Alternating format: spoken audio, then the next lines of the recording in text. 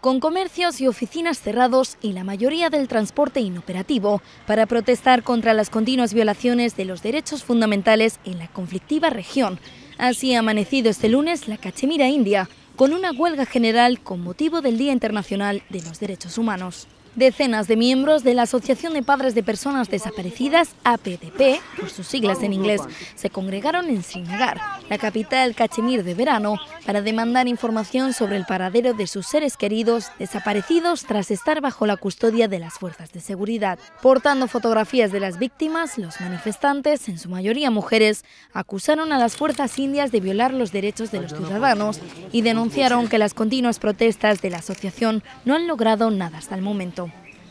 APDP mantiene que más de 8.000 personas han desaparecido en las últimas tres décadas en la región, escenario desde entonces de un movimiento separatista en los ámbitos político, insurgente y ciudadano, con protestas violentas que se repiten frecuentemente.